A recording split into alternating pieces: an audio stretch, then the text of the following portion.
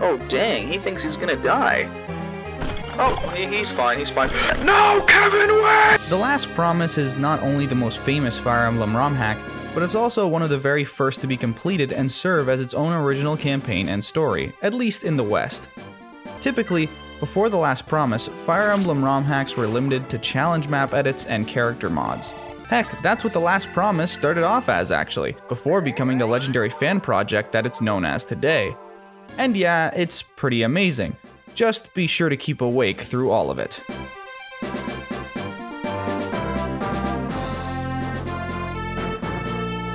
Originally released in August of 2013 by Blazer, The Last Promise is a ROM hack of Fire Emblem 7 for Game Boy Advance. It's basically a huge legacy piece of a game for the Fire Emblem ROM hacking community. It didn't start off as a completely original story, world, and collection of characters, but it eventually became that as development progressed.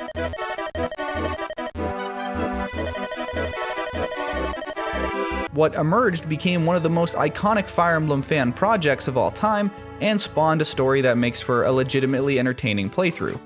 It's now host to iconic characters, the sleepyhead Anakin and the ever edgy Kelik, alongside more traditional medieval fantasy protagonists, Siegfried and his son Shon. You know that when your ROM hack gets fan art made of it online, you've done something right, and it's being appreciated. The story isn't anything super crazy, but it is entertaining enough to keep players engaged. There's an evil kingdom invading relatively peaceful kingdoms, an older, hardened, famous knight that resides outside of the major kingdoms and is brought back into the fray to defend innocent people and restore a better sense of order. Yeah, it's a Fire Emblem story. But this one seems to take more interest in characters beyond the traditional protagonist. Siegfried and Shon play a huge role in the game and are integral to the story, but it's characters Anakin and Kelik that quickly become more interesting and really steal the show.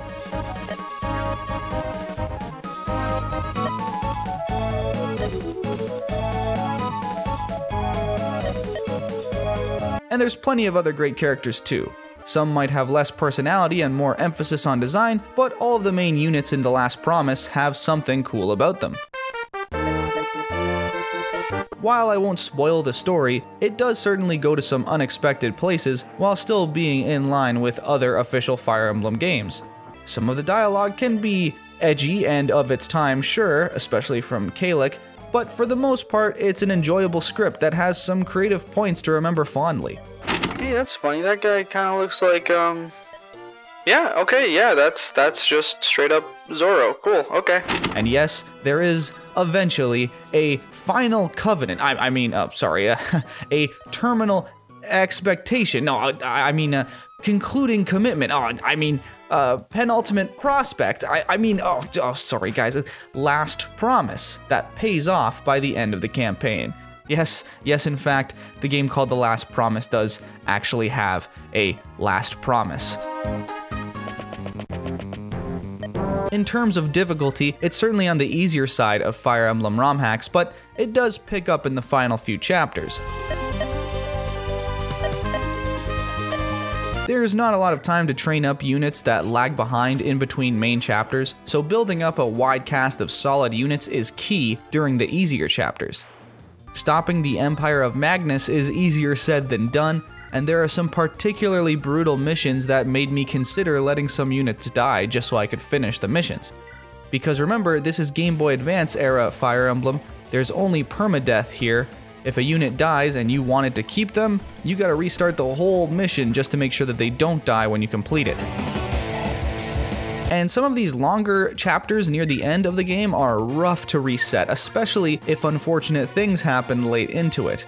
But again, it's not nearly as hard as many other Fire Emblem ROM hacks out there, so at least there's that. There's a lot of secrets and side quests that are hidden pretty well in the game, even with the assistance of a fortune teller to help guide the player. Playing alongside one of the many guides online will probably be necessary if you want to try and complete the game to its fullest on your first playthrough. It's definitely a hack from 2013, so some of the quality of life features you might be used to from either Sacred Stones or maybe more recent Fire Emblem ROM hacks aren't present. But I never really minded, it's still a smooth experience in my opinion.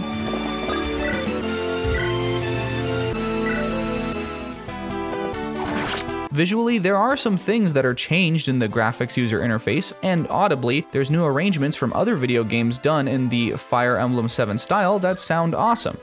Overall, along with some nice character portraits, The Last Promise is an aesthetically pleasing game. And spoilers, this game has a few lines of voice acting in it, which is quite the technical achievement for a Fire Emblem ROM hack.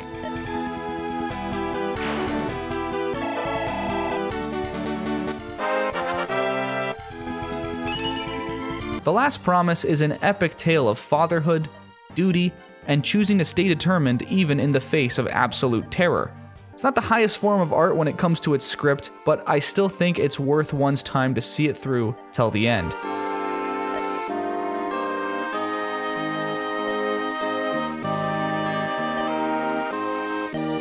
Sure, maybe there's better works out there these days, but User Blazer really pushed ahead and blazed an exciting trail for the Fire Emblem ROM hacks that were and are to come.